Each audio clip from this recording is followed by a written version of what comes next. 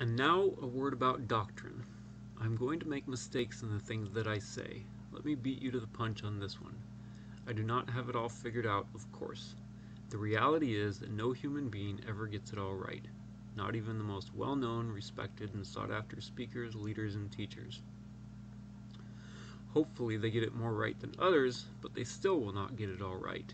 Every human being makes mistakes, and so it is relatively easy to find fault with pretty much anybody.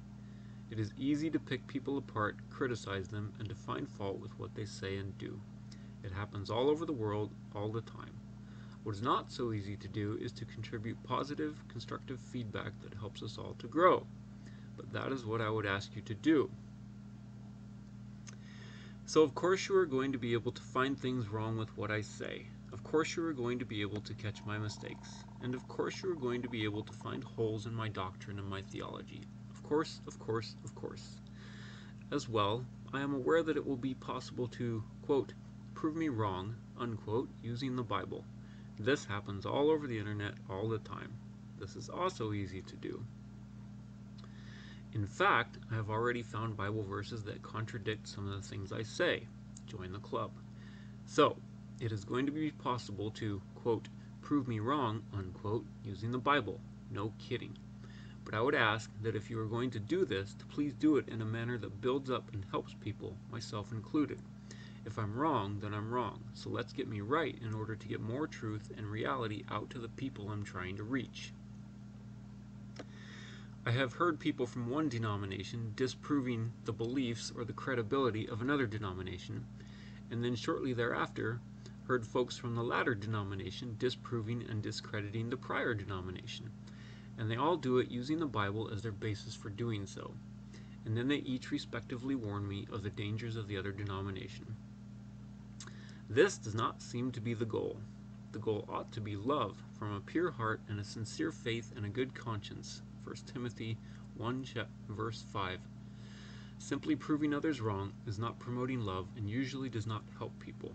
Sometimes people are truly wrong and need to be confronted about it. This is true. However, apart from these cases, we ought to be pursuing the things that make for peace and the building up of one another. Romans 14:19. A lot of doctrinal bickering is simply works of the flesh, as described by the apostle Paul in the book of, book of Galatians, chapter 5, verse 20. Enmities, strife, dissensions, disputes, and factions.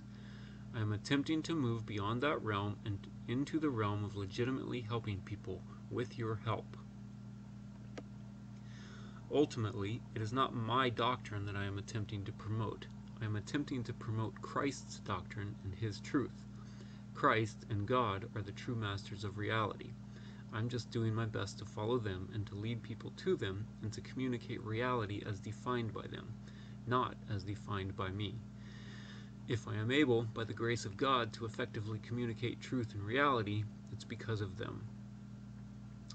This is not the Jesse show. This is the us show. I'm open to feedback, correction, new ideas, new thoughts, and constructive criticism. This channel is a team effort between myself, God, friends and family, and you. We all have a part to play in helping people. Any worthwhile undertaking takes a team to make it work. Teamwork makes the dream work.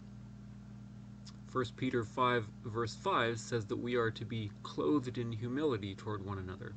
That means that I acknowledge you, listen to you, and be willing to learn from you. So, please provide feedback, ideas, and constructive criticism. I need it. However, if you are going to attempt to prove me wrong, then please do so in a constructive way, a way that benefits everybody, and in a way that helps all of us to grow, in a way that may even help to save lives, because you never know who may be listening. We all have different pieces of the picture that we need to bring to the table to complete the masterpiece. Thank you and good night.